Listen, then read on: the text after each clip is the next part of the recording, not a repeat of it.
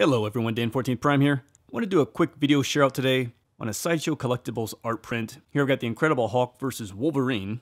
If you're interested in picking this print up or any Sideshow art prints, check the links down in the description below. This one runs about 100 bucks.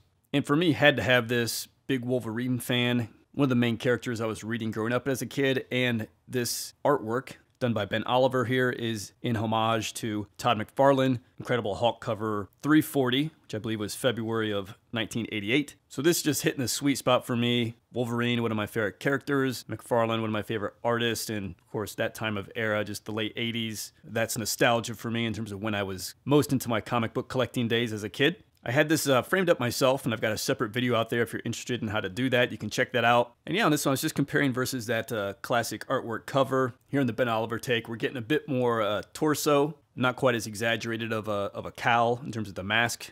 And then obviously done in this more painted style versus the heavily penciled, heavily inked, and very musculature classic McFarlane style. But I think Ben Oliver does uh, really a great, great take in this painted style. And I love how the style just adds this effective like motion into it, just with this sort of streaking paint effect. And the Hulk reflection coming off the claws. I mean, I haven't even mentioned it yet, but come on.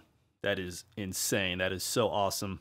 The portraits of Hulk there and Wolverine side by side, done so well.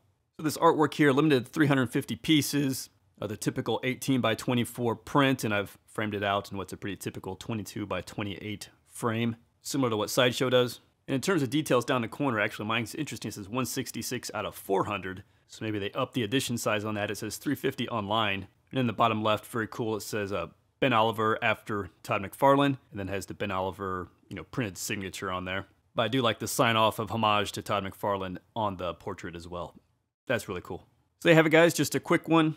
To get this guy up in the collection room. Probably be doing a collection room tour here pretty soon as I've had some things, particularly artwork wise, landing. It's been coming together. So look for that here in the not too distant future. Otherwise, thanks for checking in on this Sideshow collectible art print share out video. Again, links down in the description below. Any shopping you do those links, Amazon, eBay, Sideshow. Supports channel at no cost to you, and I do very much appreciate that. And follow me on Instagram as well, link down below. As always, things go up there first, so you can stay plugged in out there Dan 14th Prime on my Instagram. All right, guys, thanks for checking in on this Sideshow Collectible art print video share out. I'll see you next time.